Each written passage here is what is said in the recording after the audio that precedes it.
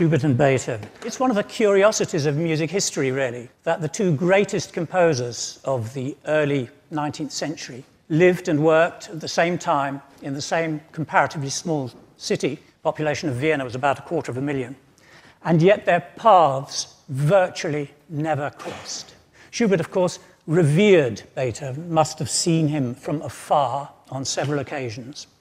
And he tried um, throughout his life to make his mark in the large scale instrumental forms on which Beethoven had so indelibly stamped his personality. Leopold Kupelwieser painted most of the well known pictures of Schubert and his circle of friends. He also did uh, a, rather unusual picture, which is uh, this is an imaginary street scene in which Beethoven and Schubert meet, and Beethoven looks as though he's wearing tartan trousers. And uh, they're both holding their hats and studiously avoiding looking at each other.